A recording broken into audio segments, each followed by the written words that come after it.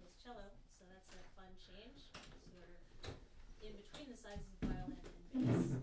It's nice to have a little moderation sometimes. Um, I put this down because something fun is going.